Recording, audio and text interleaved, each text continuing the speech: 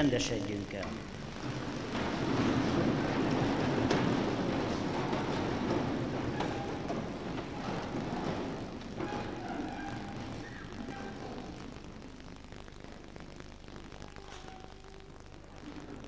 Mennyei édesatyánk,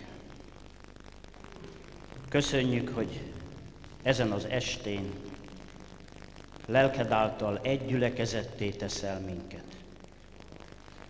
Különböző keresztény hagyományokból érkeztünk, mégis ismerjük egymást, mert fiadé az Úr Jézus Krisztusé vagyunk, és ez lehetővé teszi, hogy befogadjuk egymást. Köszönjük, hogy tudunk egymásra figyelni, testvériséggel egymáshoz fordulni, elismerni egymást, amely a felszabadulás érzésével tölt el minket ebben a közösségben. Mindezt azzal a régi szóval fejezzük ki neki, mennyei atyánk. Boldogok vagyunk ezen az estén. Magasztaljuk nevedet, hogy együtt létünk és egymás befogadása, fiadnak a Jézus Krisztusnak az érdeme, aki megváltott bennünket. Ő az, aki életünknek, szolgálatunknak új irányt ad, ezt tesz képessé arra, hogy ne azt nézzük, ami elválaszt, hanem ami egyesít egy közös ügy szolgálatában, keresztényi felelősségünkben, öreg földrészünkért, Európáért. Közös imádságunkat a bőt időszakában mondjuk, és fiat szenvedésére tekintünk. Ő az, aki érettünk szenvedett, és ezt azért tette, mert szeret minket. Ezért tégy minket képessé arra, hogy szeretetben, szenvedést is vállalva fogadjuk be egymást. Tölts el minket reménységgel, hogy fáradozásunk egy Krisztusi életért nem való. Árazd ránk ki szent lelkedet, áld meg a bizonyságevőket, mindazt, ami ma itt esett, szóban, énekben, koreográfiában megtörténik. Kérünk, fiadnak Jézus Krisztusnak érdeméért, hallgass meg könyörgésünket. Amen. Foglaljuk el helyünket.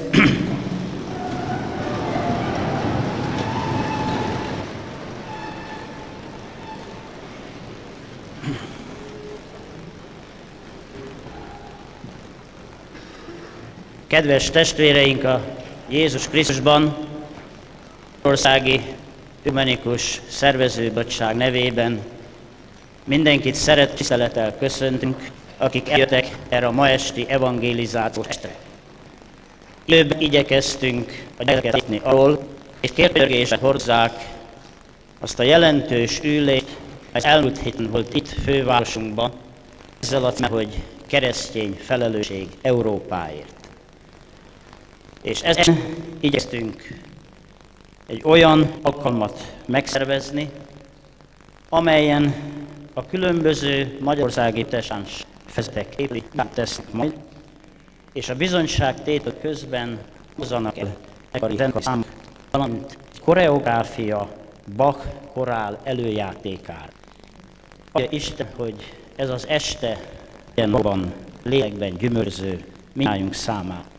Így kezd mindenkinek kezébe adni ma este, de mégis nagyon röviden szeretném elmondani, hogy az evangelizációkat Szuhánszki István medista lelkész végzi, a baptista egyház részéről Nemesi Zotásünk, az evangélikus Eráns egyházból Szabóné Mátrai Marien lelkésznő, és a reformás egyházból Vad Zsigmond református lelkész. Az együttlét végén majd záróbeszédet fog mondani dr. Martin Kruse püspök úr, aki ennek az Európai Protestáns Nagygyűlés négytagú elnökségének egyik tagja. Befejezésű pedig a különböző egyházak vezetői igét mondanak.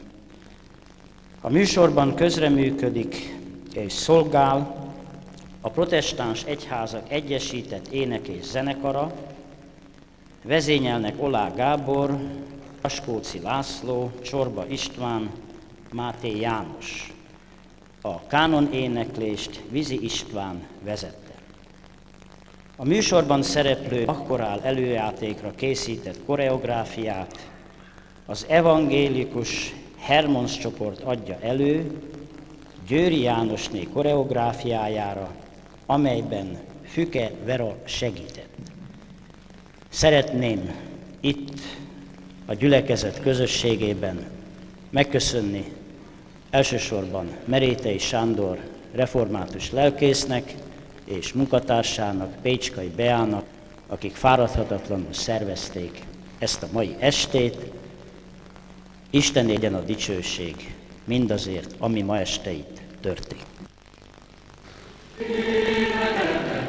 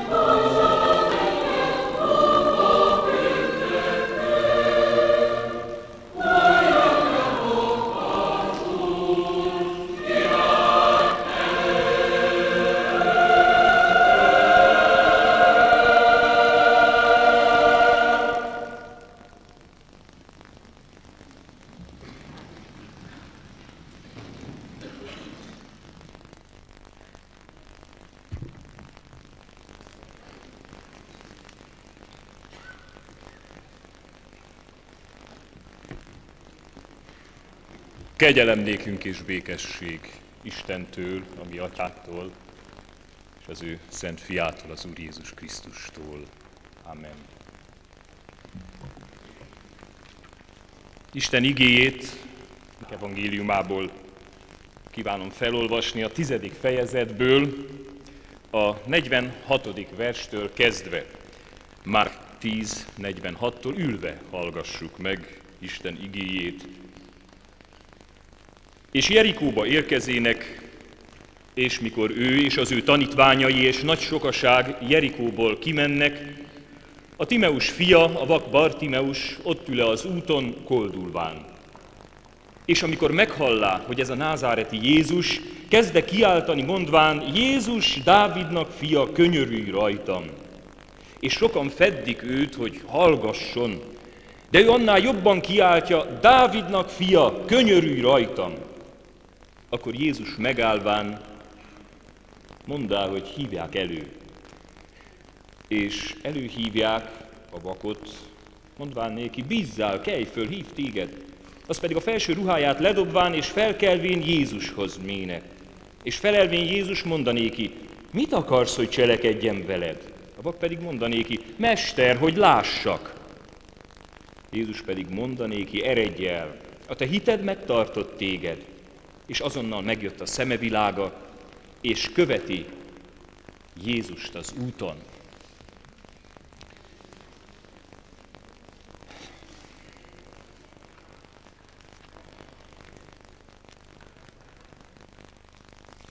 A koldusról kívánok-e beszélni, avagy a tömegről? Melyik vagyunk mi, melyik az, ami ebből bennünket megszólíthat, vagy valami közünk van hozzá?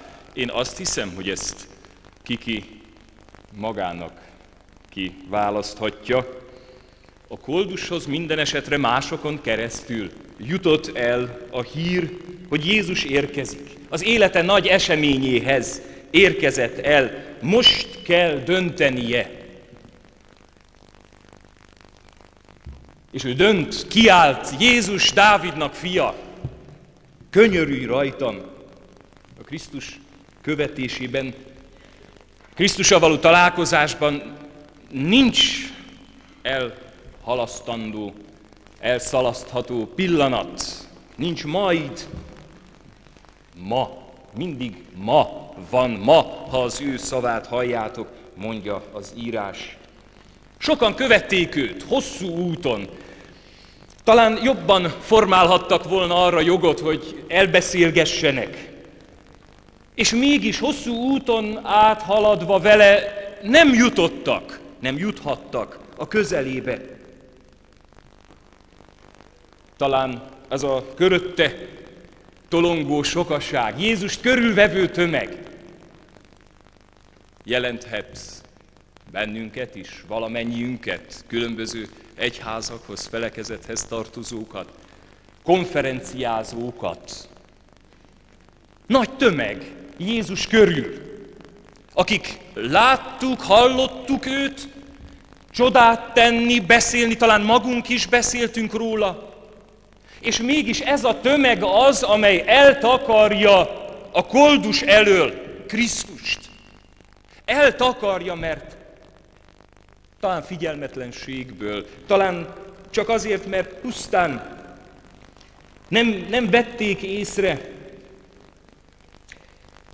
vagy nem álltak a hivatásuk magaslatán, lehetséges. Lehet, tömeg felvonult, egy aranyos kis képet hadd mondjak itt gyorsan el.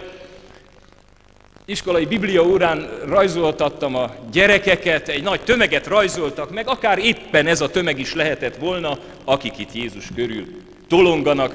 És ezek a mai gyerekek, akik többnyire nem is vallásos szülők gyermekei, nagy transzparenseket rajzoltak, Jézus elől megy a csapat élén, éljen Jézus, van fölírva a transzparensekre, és az egyik gyerek belerajzolta Zákeust is, mert az előző órán Zákeusról volt szó, és ugye, hogy lógatta így a két kezét, úgy a kezéből szóródott a pénz. Így haladt ott a tömegben Zákeus is. Ismerős ez a történet, azért hivatkozom ebben a körben rá. Meggyógyult emberek a tömegben.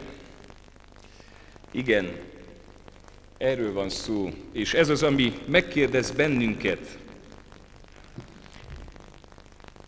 Honnan ismerte föl ez az ember, ez az útszéli vak? Honnan ismerte föl, miről ismerte föl Jézust?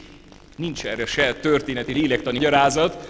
Egész egyszerűen hit, és az ő hite felismer. Ő a szabadító, ő a megígért messiás. Viszont vannak, akik bele akarják folytani a szót. A különben Jézus kör tolongók közül. Nem tettünk-e mi is valami hasonlót? Nem némítottunk-e el szíveket? Botránkoztattuk? Talán csak, mert figyelmetlenek voltunk. Eltakartuk Krisztust, mert pusztán csak azért, mert elhallgattuk. Mit akarsz, hogy cselekedjem? Kérdezi Krisztus. És kérdezi, most is, ma is válaszolhatnánk, válaszolhatna mai módon, itt vagyok, nyomorultul, koldulok, azonnali szociális segít szeretnék, rendeljen ki a polgármesteri hivatal, soron ki szociális, szociális gondozót, sok mindent mondhatnának a mai koldusok. Mester, hogy lássak! Hát nyilván, látni akar. Te mit kérsz? Krisztustól? Mit kérünk mi? Krisztustól? Mekkora hitünk van? Elég a hitünk ahhoz, hogy megtartson? Mert van hamis hit is. Azt mondjuk hiszünk, hát persze hiszünk. Gyerekségtől fogva hiszünk. Ebben neveltek, ebben nőttünk föl. Igen, de van hamis hit is, amely nem köt az Úr Jézus Krisztushoz. Egy óriási lehetőség, egy fantasztikus lehetőség az, én megnyerhetem az Úr Jézus Krisztust. Hogy bennem élhet a Krisztus. És erről bizonyságot tehetünk. Ezt hirdethetjük. Ez az, amely megváltoztatja az éket. A misszió, az evangelizáció morja. Ez az élő Jézus Krisztussal való kapcsolat. Az igazi hit, ami átforrósítja a szívedet, átformálja az egész életedet, újongva örülsz, mert tudod, hogy Isten Jézus Krisztus megbocsátott minden bűnödet. A legnagyszerűbb az életben, mondja Wilhelm Busch. A legnagyszerűbb az életben. A bűnbocsánat. És ez az, amit hirdetni akarunk. A bűnbocsánat és a szlet közösség Jézus Krisztussal. Krisztus küld bennünket is. Itt most a magyaroknak hadd mondjam, mi sokat beszélünk arról, hogy szeretnénk Európához fölzárkózni. Itt kezdődik Európa, Bartimeusoknál, az Ákeusoknál, a nyomorultaknál, szegényeknél és gazdagoknál, akik egyformán megterheltek és egyformán vakok, és ránk várnak, csak mi ne takarjuk el előlük az Urat. Elküld minket, mint meggyógyítottakat, hogy valljunk. A mi kötelességünk meghallani ezeket a kiáltásokat is. Krisztushoz vezetni őket, nem magunkhoz, nem az egyházunkhoz, megtéríteni Jézus Krisztushoz. És ez a konferencia is erről beszél hogy az Úr bennünket együtt hív, közös bizonyságtételre, és együtt küld el, mint meggyógyítottakat. Testvéreim, hogy elhiggye ez a világ, hogy Isten küldött minket. Amen.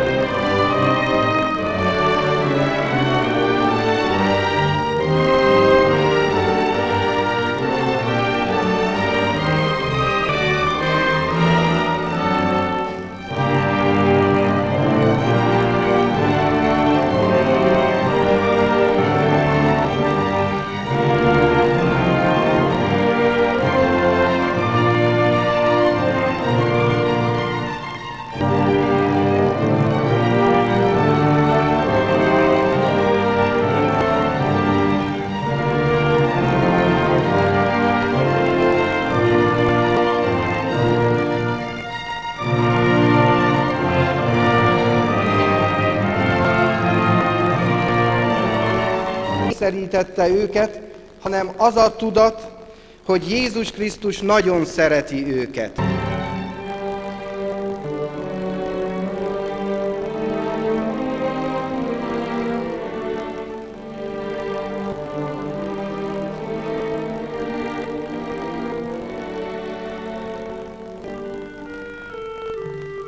népnek, és mondja nekünk is,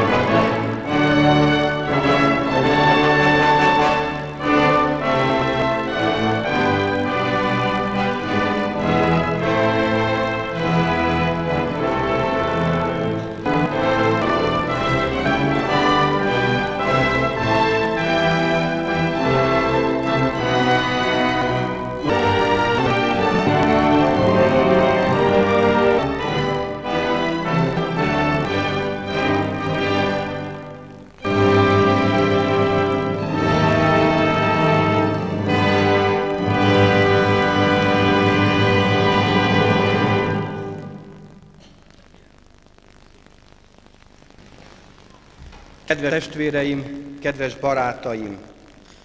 A Korintus eliekhez írt második levél ötödik fejezetéből kívánok felolvasni néhány verset, a tizennegyedik verstől. Mert a Krisztusnak szerelme szorongat minket, úgy vélekedvén, hogyha egy meghalt mindenkiért, tehát mindazok meghaltak, és azért halt meg mindenkiért, hogy akik élnek, ezután nem maguknak éljenek, hanem annak, aki érettük meghalt és feltámasztatott. Azért mi ezentúl senkit sem ismerünk test szerint, sőt, ha ismertük is Krisztust test szerint, de már többé nem ismerjük. Azért, ha valaki Krisztusban van, új teremtés az. A régiek elmúltak, imé újjá lett minden.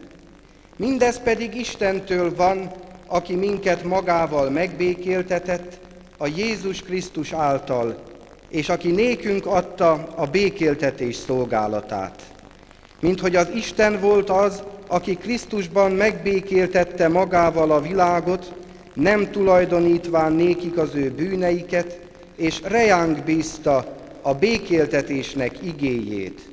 Krisztusért járunk tehát követségben, mintha Isten kérne mi általunk, Krisztusért kérünk, béküljetek az Istennel. Mert azt, aki bűnt nem ismert, bűnné tette értünk, hogy mi Isten igazsága legyünk őben. Kedves testvéreim, kedves barátaim, nagyon örülök annak, hogy részt vehettem az Európai Protestáns Nagygyűlés rendezvényeinek egy részén. A szekciók közül az Európa evangélizálása című csoport munkájába pillanthattam be. Bevezetőül hadd idézzek néhány nagyon jelentős, vagy legalábbis számomra nagyon jelentős megállapítást az ott elhangzottakból. Az evangélium hirdetését bátran, vidáman és békésen kell végezni. Másik megállapítás, nem a szeretet ad hitet, hanem a hit tesz képessé a szeretetre. Egy következő, az evangélium hirdetés indító oka a szeretet, célja a szeretet továbbadása, és módszere a szeretet. Tudom, hogy az itt jelenlévők túlnyomó többsége keresztjén ember, ezért most nem evangélizálni szeretnék elsősorban, hanem buzdítani az evangélizálásra. Ez ugyanis az újjáteremtett ember hivatása, mindannyiunk feladata. Jézus Krisztus e földről testben való távozásakor kiadta parancsát tanítványainak. Elmenvén szélese világra, tegyetek tanítványokká minden népeket. Elindultak az apostolok, s vállalva üldöztetéseket, szorongattatásokat, végezték a rájuk bízott munkát. Vajon mi késztette őket arra, hogy ilyen fenntartás nélkül, ilyen odaszánva hajtsák végre a missziói parancsot? Igényben megtaláljuk rá a választ, mert a Krisztusnak szerelme szorongat minket. Krisztusnak reánk áradó szeretete ösztökél minket, mondja egy másik fordítás. Tehát nem a parancs erélyessége, nem a parancsadó szigora kényszerítette őket, hanem az a tudat, hogy Jézus Krisztus nagyon szereti őket. Bizonyára mindannyian éreztünk már olyat, hogy valaki irányába kötelezve vagyunk a szeretetre. Nem mintha erre törvény kényszerítene, hanem mert az illető jót tett velünk, segített nekünk, vagy megmentett valamilyen rossztól.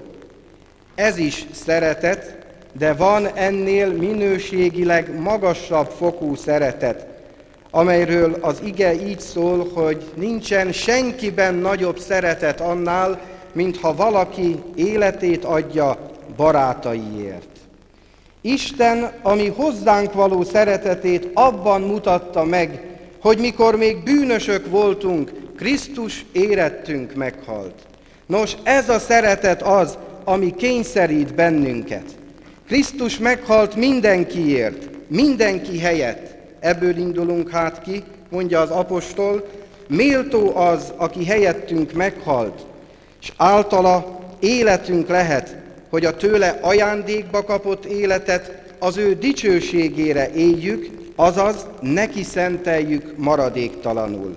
Ha pedig a test számára halottak vagyunk, nem testileg ítélünk, másként látunk, másként ismerünk. Azért, ha valaki Krisztusban van, új teremtés az, a régiek elmúltak, imé újjá lett minden. Az új mindig a régi halálát jelenti. Így követték egymást történelmi korok, társadalmi rendszerek. Így van a szellemi életben is. Új eszmék akkor jutnak diadalra, ha a régit legyőzték. Így van ez még a természetben is. A földbe vetett magnak el kell halni, hogy új élet fakadjon belőle. Imé újat cselekszem, mondja az Úr a babiloni fogságból szabadult népnek, és mondja nekünk is, a fogság után új élet kezdődött. A bűnből való megváltatásunkkal minden újjá lett.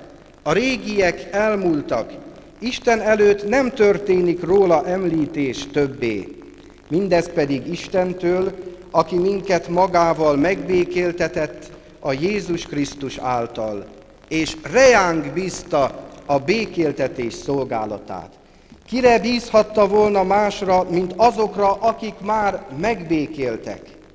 Krisztusért járunk követségben, nem a magunk eveit prédikáljuk. Azt hirdetjük, aki bennünket újjátett, megbékéltetett, akinek szeretete ösztönöz minket, aki bűnt nem ismerve bűnné, bűnért való áldozattá lett érettünk. Ezt csak Jézus Krisztus tudta megtenni. Az újjáteremtett ember hivatása tehát a békéltetés szolgálata. Mint ahogyan nem örülünk annak, ha egyik szerettünk, rokonunk, barátunk nem él békességben a másik szerettünkkel, hanem arra törekszünk, hogy megbékéltessük, összebékítsük őket, nem nyugodhatunk bele, hogy vannak még emberek, akik nem békéltek meg Istennel. Fel kell hívnunk el őket arra, hogy Isten kész megbocsájtani nekik, csak el kell fogadni az általa felkínált kegyelmet.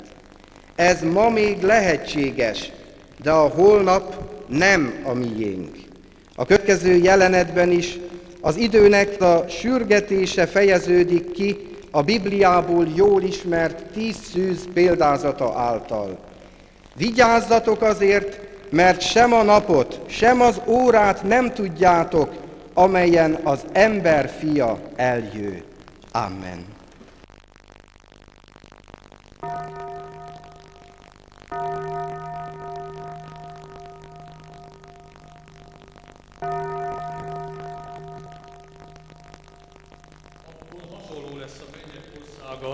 A tíz szűzhöz, akik fogták lámpásaikat, kimentek a vőlegény fogadására.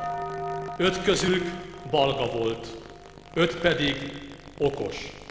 A balgák ugyanis fogták lámpásukat, de nem vittek magukkal olajat. Az okok viszont lámpásukkal együtt ott is vittek korsóikban. Mivel pedig a vőlegény kérett, elszunnyadtak mind, és elaludtak.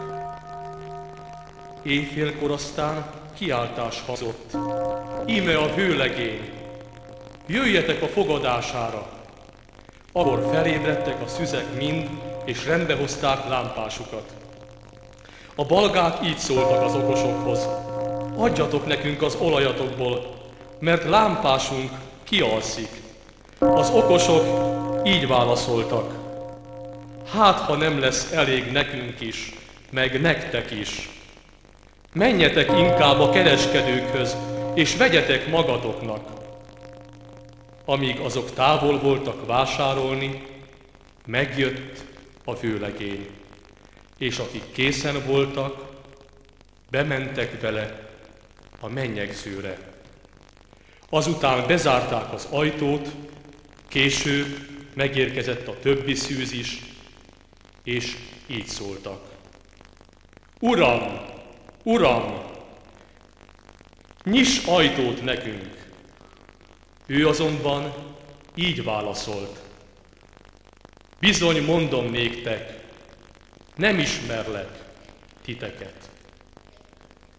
Vigyázzatok tehát, mert sem a napot, sem az órát nem tudjátok.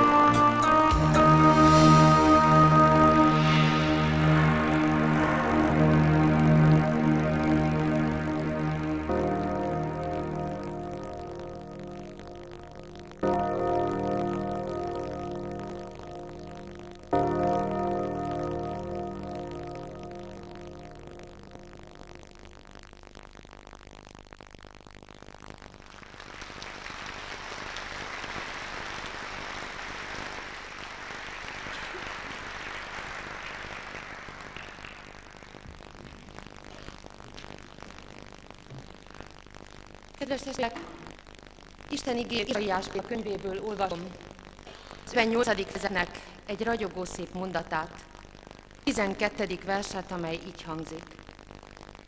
Fölépítik a ősi romokat, falat emelsz a régi lerakott alapokra. A rések befalazójának neveznek, aki romokat tesz újra lakhatóvá. Jó pár éve történt. Táblákat készítettünk gyülekezetei épületeinkre. Angélikus templom, lelkészi hivatal, istentiszteletek időpontja, hivatalos órák, és minden, ami ilyenkor szokás. Van egy istentiszteleti helyünk, egy kicsi kápolna, egy lakóház udvarán, egészen hátul. Még a közvetlen környék lakói között is akadtak, akiknek halvány sejtelmük nem volt arról, ott benne egy kápolna van, ott minden vasárnap Isten tiszteletet tartanak. A kerítésre terveztük hát a táblát, hadlásra mindenki. Az arra sétálók, a járókelők, a környék lakói. Volt a házbeliek között, aki figyelmeztetett. A mi kerésünkre ilyen táblát ne tegyenek, még valami bajunk lesz belőle. Persze a tábla elkészült, és természetesen senkinek semmi baja nem történt. Ám máig emlékszem a töprengésre, mi kerüljön rá? Melyek azok a legfontosabb információk, amelyeket rólunk az embereknek tudniuk kell? Mi kerüljön a cégtáblánkra? Mit kellene kiírnunk, hogy az emberek tudják, mit várhatnak tőlünk, a gyülekezetünktől, az egyházainktól, Mire számíthatnak, hogyha hozzánk belépnek? Ha megszívleljük Ézsaiás mondatát, alapvető tudnivalóként azt kellene kiírnunk, itt építő embereket találsz. Olyanokat, akik befalazzák a réseket, építik az omladozót, lakhatóvá teszik a romokat. Európa volt már romos, aki csak filmhíradón látta, se felejti soha az életében a folyóbaroskat, hidakat, az árván meredező, üszkös tűzfalakat. Európa egy része ma is romos. A napokban egy filmhíradós képet láttam, képtelen vagyok eltemetni, mindig újra előbukkan az emlékeim közül. Egy eszéki ház, belőtt szobája. Az asztalról lelóg egy gyerekjáték egy rugós foci. Pár órája vaskos gyerekújak illegették a figurákat, gólt lőttek. És most félig lelóg az asztalról a gyerekjáték, táblája teli van törmelékkel, a házat találat érte. Gyerekjáték, rugós foci, a háború kellős közepén. Európának ma is vannak romjai. És a nem láthatók, a láthatatlan romok, nem csak eszéken, és nem csak Európa keleti felében. Romos lelkek és romos életek, romos emberarcok, romos vágyak, romos gondolatok, romos érzések és romos erkölcsök. Nincs nap, hogy ne botlanánk semmiben révedő, üres tekintetű fiatalokba, nem várnak az égvilágon semmit. Nincs nap, hogy meg ne borzongnánk gyilkos indulatok láttán, hogy ne látnánk tépet, zilált, agyonhajszolt, roppanásig feszült arcú embereket, autóbuszon és utcán és munkahelyen és minden elképzelhető terepen. Zsúfoltak a pszichiátriai rendelők várószobái, még zsúfoltabbak talán csak a gőzölgő kocsmák. Szétrobban családok, feldult otthonok romjai között kiszolgáltatott öregek és védtelen gyerekek kotorásznak. Romok, láthatatlan romok. A keleti pályaudvaron ma úgy kínálják a drogot, mint hajdanak varcórát. És a nyugat minden eldobott szennye és kacatja itt hömpölyög az utcáinkon szennyes áradatként, az utcáinkon és a képernyőkön, az újságokban, a zsebeinkben, a gyerekfejekben és a felnőtt szívekben. És hányan vannak?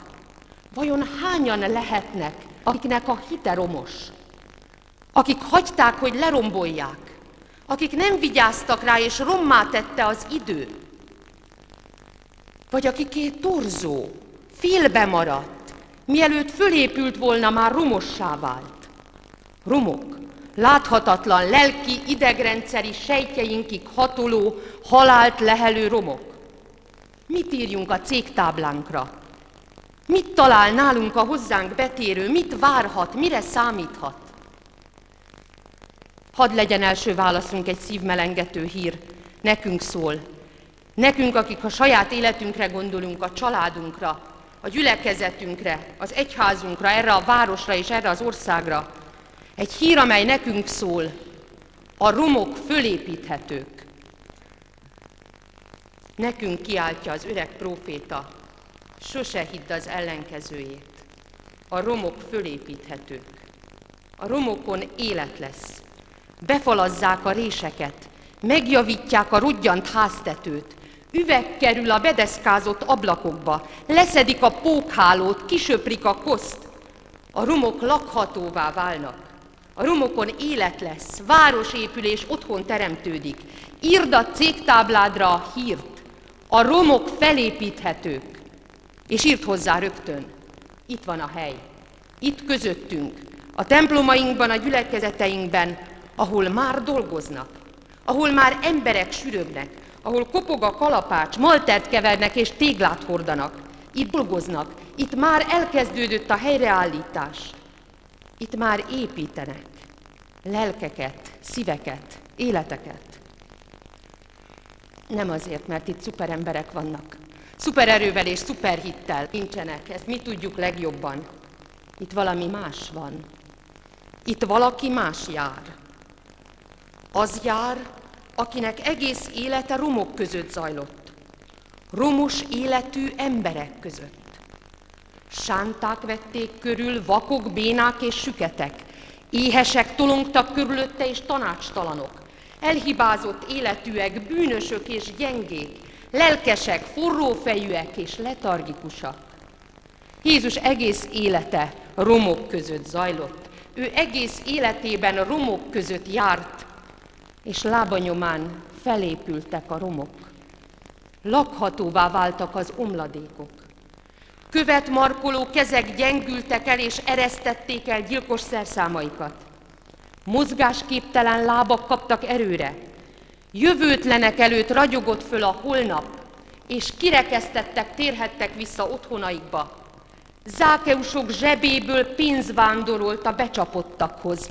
Lévitala majd föl borult a sietségtől, ahogy fölállt, hogy kövesse. Kemény férfiak rogytak térdre előtte, és a jobboldali lator arcán felragyogott az üdvösség. Ő nem ment el. Itt jár, a romjaink, a törmelékeink, a pókhálóink között, az emlékeink között, a félelmeink között, fájdalmaink és reménytelenségünk között. Mert romjaink nekünk is vannak, fél lábbal mi is romokból jövünk. Hagytunk otthon romokat, feszültségeket és fájdalmakat, és néhány friss vagy hegedőfélben lévő itt van nálunk, magunkkal cipeltük, nem bírjuk letenni. Épp ezért döbbenetes, hogy ránk, épp ránk teszi az öreg próféta és a gyógyító mester a táblát, az a nevetek, hogy javítjátok a falakat és építitek a romokat. Meg ne rettenjünk. Jézus sose dolgozott perfekt emberekkel. Olyanokkal, akiknek se bűne, se fájdalma, se kételje, se megtorpanása. Jézus mindig félig romos emberekkel dolgozott. Ilyen magunk fajtákkal, hozzánk hasonlókkal. Nekik adta és beléjük öntötte az erejét, hogy sánta lábbal is szaladjanak, hogy sérült kézzel is ápoljanak, és fájó szívvel is vigasztaljanak. Higgyünk neki, elegendő az ereje nekünk is. Ne várjunk arra, hogy majd erősek leszünk, készek, büntelenek és tökéletesek. Ő munka közben gyógyít, szolgálat közben tisztít meg, és menet közben erősít. Mindig is így tette. Ez a munkamódszere. Ezért és csak ezért állhat a cégtáblánkon. Itt már dolgoznak, itt már tűnnek a romok, itt már építenek. Itt Jézus erek és Jézus szeretete van munkában. Mit jelent számunkra ez ebben a pillanatban? Azt jelenti, hogy vége a mással foglalkozásnak. Az idegen tevékenységek ide, ideje lejárt. Sopánkodni mindenki tud, nem kell hozzá Krisztus ereje. Romokba süllyedni mindenki tud. Analizálni és objektív módon feltárni mindenki tud, nem kell hozzá Krisztus ereje. Felháborodni és elkeseredni mindenki tud, sírni és panaszkodni Krisztus ereje nélkül is lehet. Ám akié Jézus ereje, aki hozzátartozik, annak dolga az építés, az eltakarítás, a javítás, a romokból való építkezés kemény munkája. Ne magunkra nézzünk, azt vegyük észre, hogy mindez Krisztus kezével történik, Krisztus erejével és Krisztus szeretetével. Testvérek, hoztunk magunkkal néhány fontos tárgyat ide a sportcsarnokba. Lakáskulcsot, bérletet, esernyőt, egyebeket. Bár csak megadná az Úristen, hogy egy fontos tárgyal többet vigyünk el innen. Egy feliratot, egy cégtáblát. Nem látható helyen, valahol egész mélyen, a lelkünk mélyén. Egy föliratot. Én csodálkozom a legjobban. Mégis tudom, építő vagyok. Rések befalazója. Építő, aki romokat tesz újra lakhatóvá. Amen.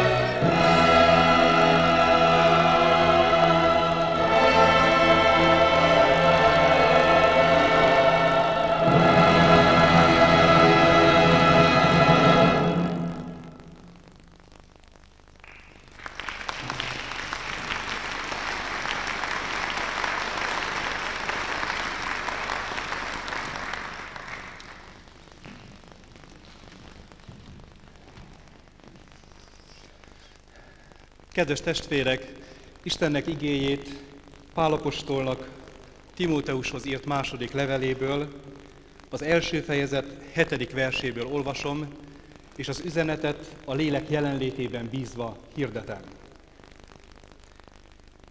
Nem a csüggedés lelkét adta nekünk az Isten, hanem az erő, a szeretet és a józanság lelkét.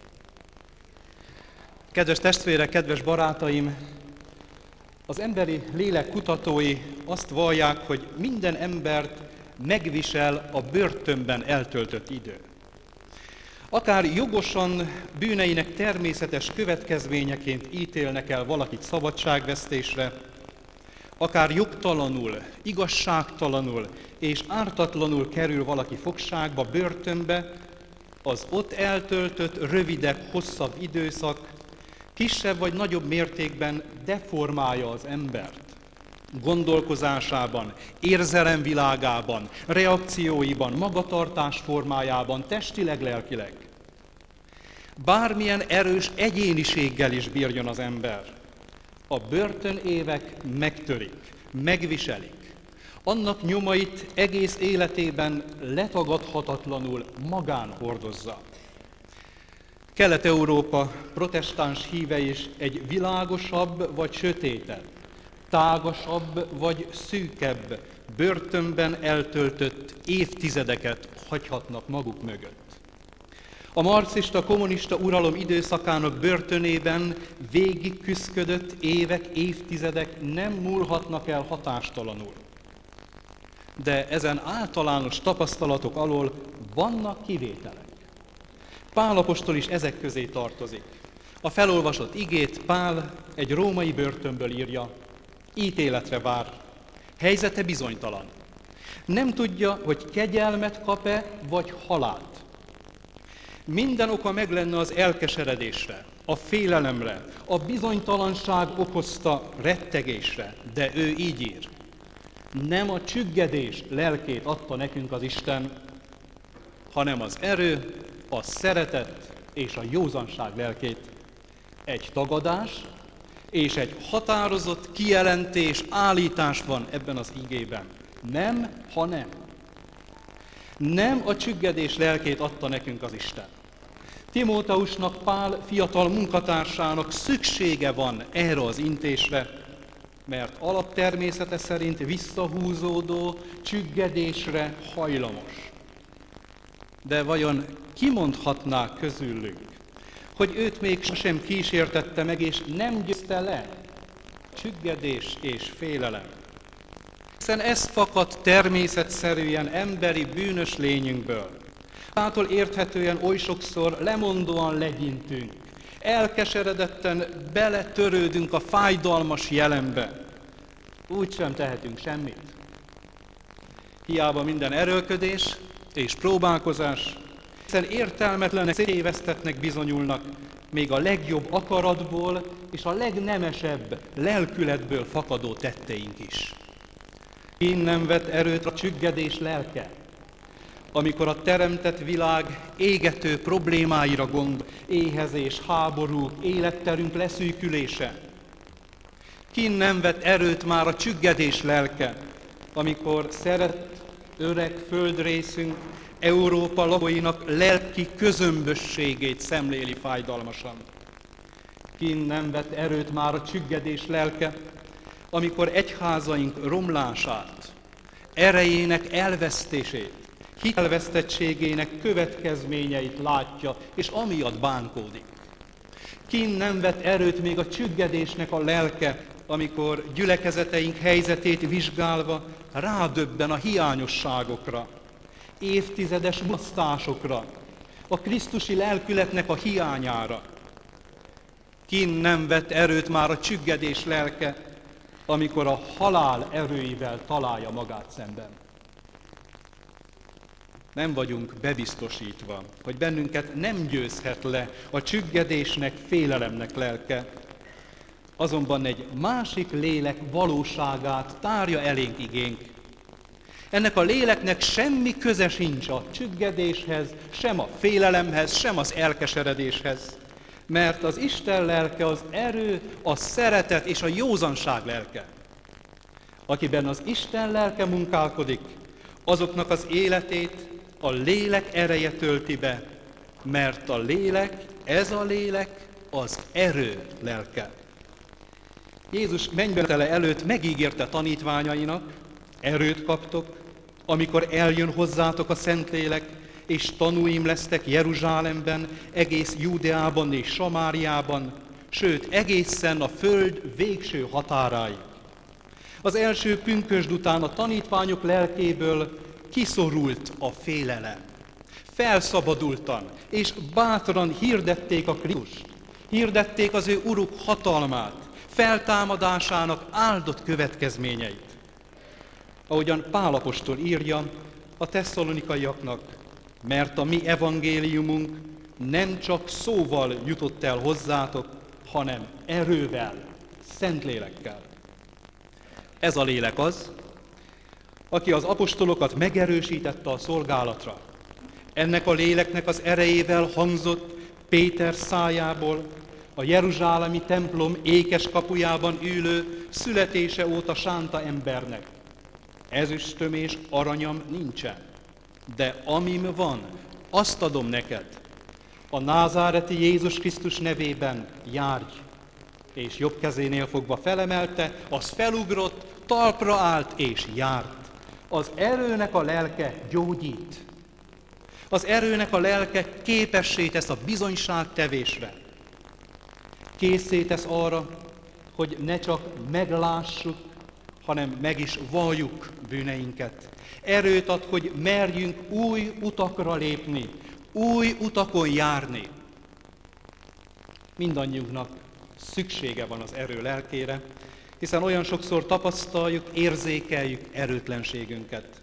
Szüntelenül ott feszülnek bennünk a kérdések, lesz-e elegendő ereje gyülekezeteinknek az előttünk feltornyosuló feladatok elvégzésére? Lesz-e erőnk szólni, amikor határozottan szólnunk kell? És lesz-e erőnk hallgatni, amikor hallgatnunk kell? Lesz-e erőnk együtt örülni az örülőkkel? és együtt sírni a sírokkal. Ha ez a lélek munkálkodik bennünk, akkor Pálapostollal együtt megtapasztalt valóságként kijelenthetjük, mindenre van erőm a Krisztusban, aki engem megerősít. Ez a lélek a szeretet lelke. A szeretet kiapadhatatlan forrásából, Istenből árad. Hiszen ő az, aki szüntelenül megújít szeretetével. Ez a lélek tanít meg arra, hogy Istent és a másik ember hűen és igazán szeressük. Istent teljes szívvel, teljes lélekkel, teljes erővel és teljes elmével szeretve a Zsoltáríróval együtt valhatjuk, boldogok, akik téged szeretnek. Ez a lélek kiűzi az emberi lélekből a gyűlöletet, az önzést, a türelmetlenséget, az irítséget, a kérkedést, a felfuvalkodást. Akikben ez a lélek munkálkodik, az nem viselkedik bántóan, nem keresi a maga hasznát, nem háborodik fel, nem rója fel a rosszat, nem örül a hamisságnak, de együtt örül az igazsággal. Elélek munkája képessé tesz bennünket arra is, hogy szeressük azokat, akik bennünket nem szeretnek. Szeressük ellenségünket. Vajon ez a lélek határozza meg életünket? Ha igen, akkor valódi gyülekezeti közösségé formálódunk most itt is.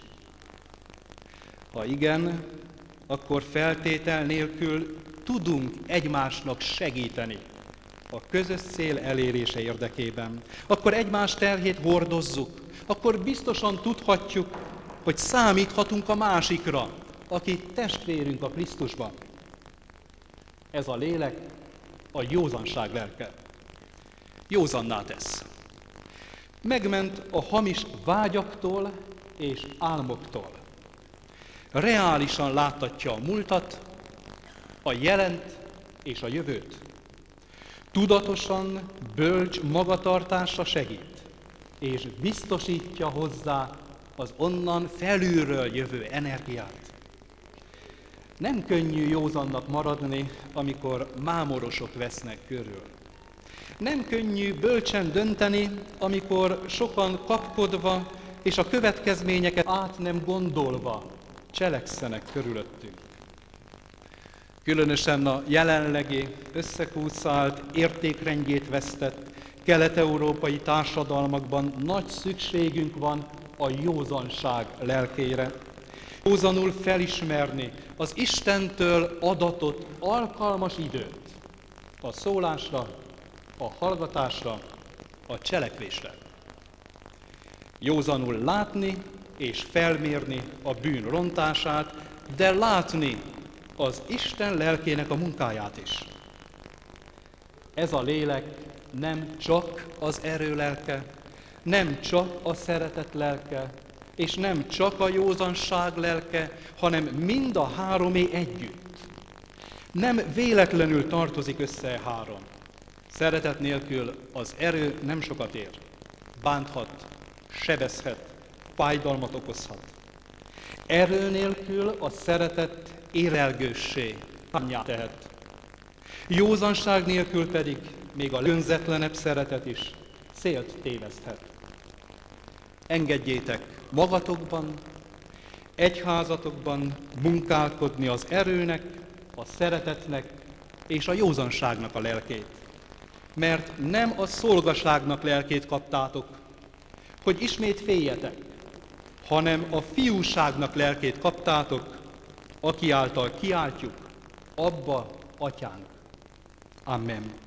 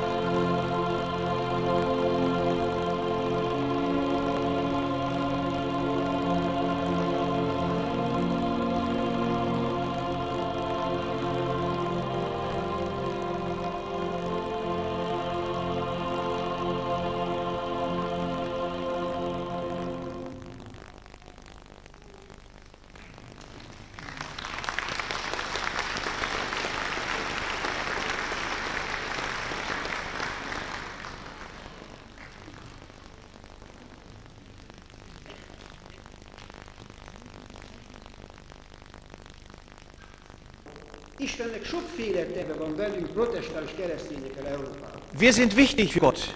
Fontosak vagyunk az ő számára. Wir sind wichtig für die Menschen. Fontosak vagyunk az emberek számára.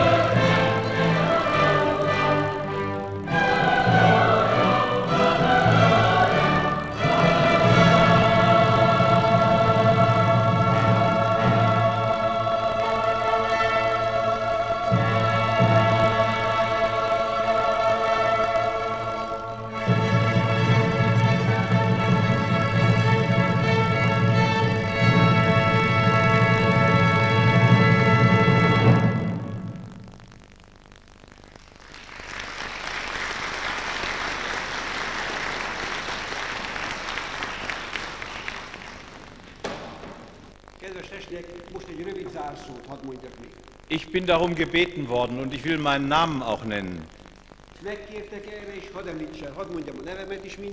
Mein Name ist Martin Kruse und Martin zeigt, dass ich lutherisch bin. Ich bin Bischof der evangelischen Kirche in Berlin-Brandenburg, die jetzt wieder eine Kirche ist, nachdem die Mauer weg ist. A Berlin-Brandenburgi vagyok, amelyik újra egy egyházat képez, miután a fal leomlott. Aber ich spreche jetzt nicht in meinem Namen und im Namen unserer Kirche, sondern für alle Teilnehmerinnen und Teilnehmer der evangelischen Europäischen Versammlung. Most azonban nem a magam és nem az egyházam nevében szólok, hanem minden, mindazok nevében, akik az európai protestáns nagygyűlés résztvevői voltak. Ungefähr 200. Körülbelül 200-an vagyunk. Viele sind schon wieder auf dem Weg zurück nach Hause. Von Portugal bis nach Omsk und von Großbritannien über Jugoslawien, Italien sind wir zusammengekommen. És Norvégiától Jugoszlávián keresztül Olaszországig voltunk egy. Aber nun sollen Sie sehen, wer das ist. Wer teilgenommen hat an der Versammlung, muss jetzt aufstehen. Da sehen Sie alle.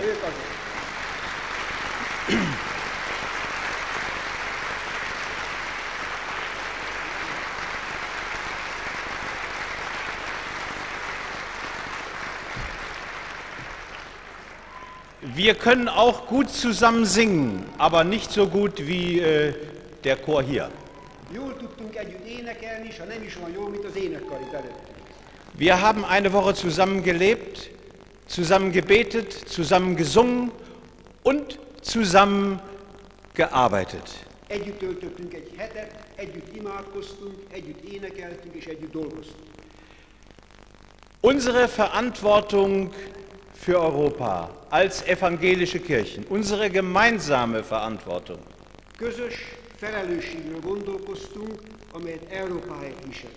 Das war unser Thema.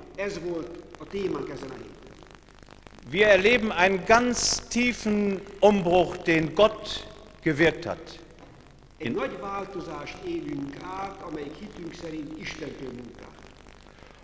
Und wir merken, wir müssen zusammen stehen und zusammen der Herausforderung Gottes begegnen, sie aufnehmen.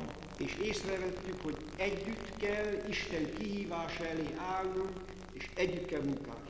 Wir haben euch gestern einen Brief geschrieben an alle evangelischen Christen in Europa, an alle evangelischen Gemeinden und an alle Kirchen. Tegnap egy levelet írt nektek. Minden keresztény, evangéliumi, protestáns emberhez Európában, egyházakhoz és gyülekezetekhez. Den könnte ich euch jetzt vorlesen, aber das ist zu lang. Ihr sollt ihn auch studieren. Der ist nicht so ganz einfach, man braucht Zeit. Und man muss es zu mehreren tun, darüber reden.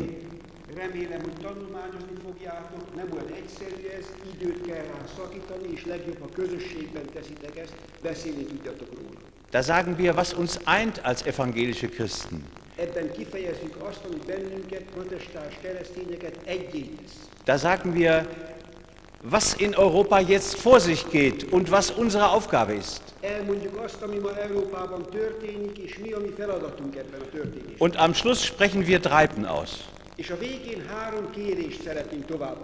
Also wartet darauf, dass der Brief zu euch kommt. Nun eine ganz persönliche Erinnerung. Ich war ein Kind von sechs Jahren vielleicht, als ich den Namen Budapest in mich aufgenommen habe.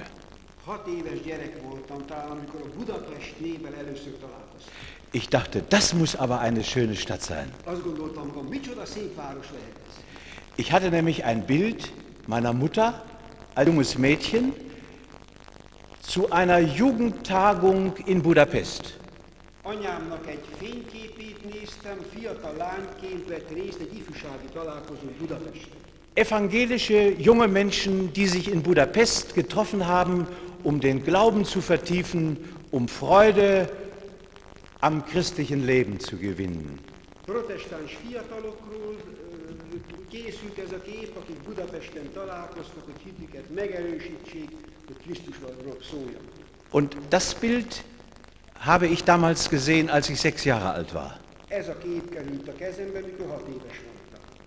Und wenn ich jetzt die Jahre durchsehe, meine Jahre, ich bin jetzt 62, 63 Jahre alt, es gibt viele Bilder, wo Christen sich in den letzten Jahrzehnten in Budapest nur treffen konnten, um sich zu begegnen in einem alten Europa.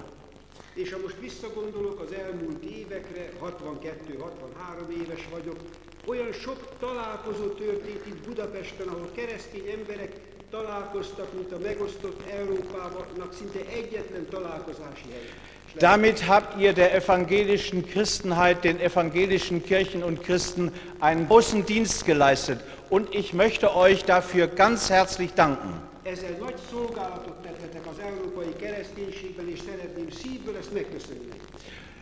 Äh, es, ja, denn das ist heute wichtig. Wer immer nur zu Hause bleibt, wer nicht herausgeht und mit anderen Christen zusammenkommt, dessen Glaube wird nicht aufblühen, wie er sollte. Mert ez fontos, aki mindig otthon marad, visszahúzódik, aki nem lép ki, hogy másfajta keresztényekkel találkozzék, annak hite nem tud igazán úgy kibontakozni, mint ahogy a szüksége volna. Ich glaube, mit diesem einen Wort herauskommen aus uns selbst, zusammenkommen, Én azt hiszem, hogy ez egy szó, hogy kiinduljunk önmagunkból, összejöjjünk másokkal. ist bezeichnet, was Evangelisation meint, was Gott will. Ez jellemzi azt, amit evangelizáció alatt értünk, ami Isten szándéka. Gott hat viel mit uns vor, mit den evangelischen Kirchen in Europa. Wir sind wichtig für Gott. Wir sind wichtig für die Menschen. Wir dürfen nicht auf den Zuschauerplätzen bleiben. Europa ist eine große Baustelle. Es ist ein Durcheinander von Hoffnung und Hoffnungslosigkeit, von Freude und Angst.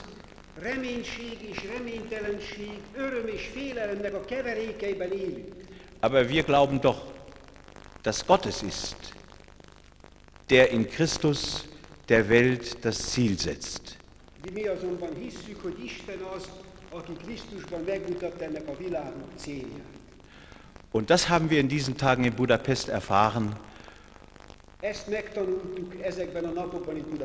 Und das haben wir für unsere Kirchen beschrieben. Und darum setze ich jetzt nicht einen Schlusspunkt,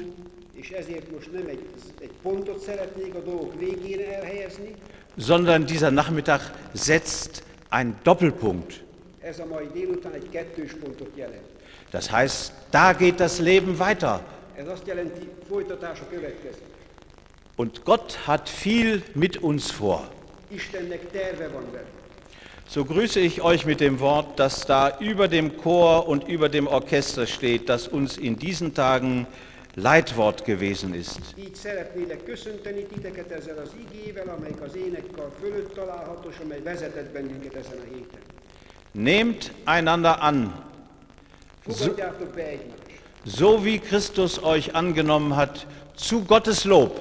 Most visszagondolok az elmúlt évekre, 62-63 éves vagyok, olyan sok Das fürcht jetzt. Isteni a dicsőség, ez következik.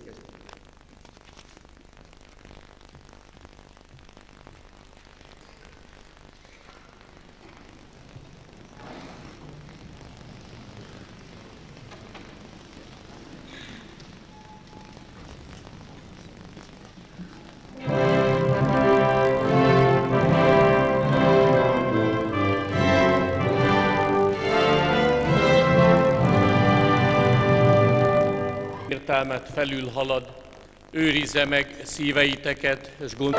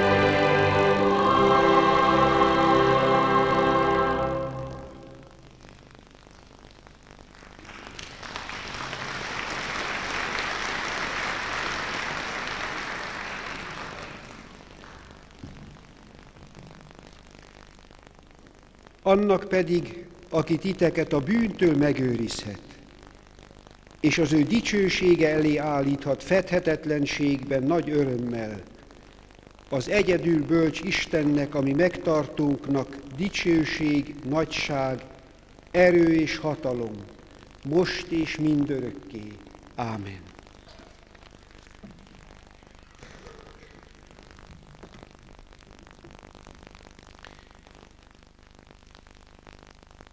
Annak pedig, aki véghetetlen bőséggel mindeneket megcselekszik, feljebb, hogy nem mint kérjük, vagy elgondoljuk, a mi bennünk munkálkodó erő szerint.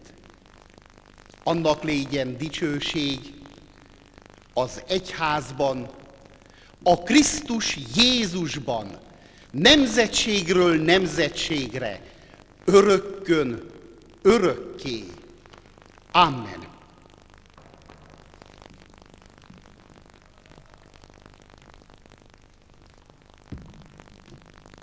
És az Isten békessége, amely minden értelmet felülhalad, őrizze meg szíveiteket és gondolataitokat az Úr Jézus Krisztusban. Amen.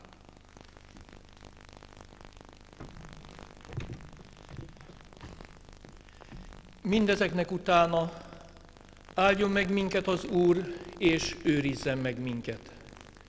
Világosítsa meg az Úr az ő orcáját mi rajtunk, és könyörüljön rajtunk. Fordítsa az Úr az ő orcáját mireánk, és adjon nékünk békességet. Jézus Krisztusban, az ő szent lelke által. Ámen.